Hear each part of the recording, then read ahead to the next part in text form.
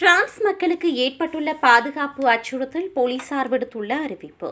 பிரான்சில் குற்ற செயல்கள் அதிகரித்துள்ளமையால் பொதுமக்களுக்கு பாதுகாப்பற்ற நிலைமை ஏற்பட்டுள்ளதாக போலீசார் தெரிவித்தனர். இந்த நிலையில் பாதுகாப்பு கருதி மக்களுடன் இணைந்து செயற்படக்கூடிய வகையிலான இணையதளம் ஆரம்பிக்கப்பட்டுள்ளதாக போலீசார் குறிப்பிட்டனர். ஒரு புதிய இணையதளம் போலீசாருடனான பரிவர்த்தனைகளை எளிதாக்குவதை நோக்கமாக கொண்டுள்ளது.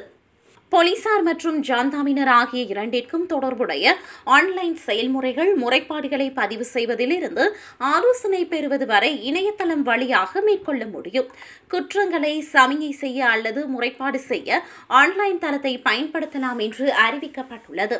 வன்முறை பாலியல் அல்லது பாலியல் வன்முறை சட்டவிரோத மோட்டார் வண்டி பந்தயம் அல்லது பொது வீதிகளில் நடக்கும் மோசடி கடன் அட்டை மோசடி இணைய மிரட்டல் மற்றும் போதைப்பொருள் கடத்தல் தொடர்பான குற்றங்கள் ஆகியவைகள் தொடர்பில் இந்த இணையதளம் மூலம் முறைப்பாடு செய்ய முடியும்.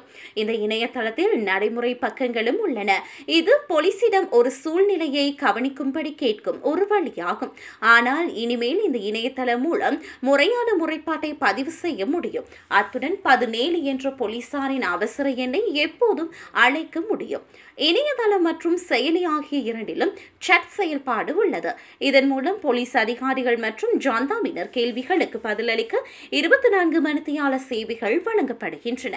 இணையதளத்தில் உங்கள் இருப்பிடத்தை உள்ளிடுவதன் மூலம் உங்களது பகுதிக்கான பாதுகாப்பு அறிவிப்புகளையும் பெறலாம். மேலும் அருகில் உள்ள போலீஸ் நிலையத்தை கண்டறியலாம் என்று அறிவிக்கப்பட்டுள்ளது.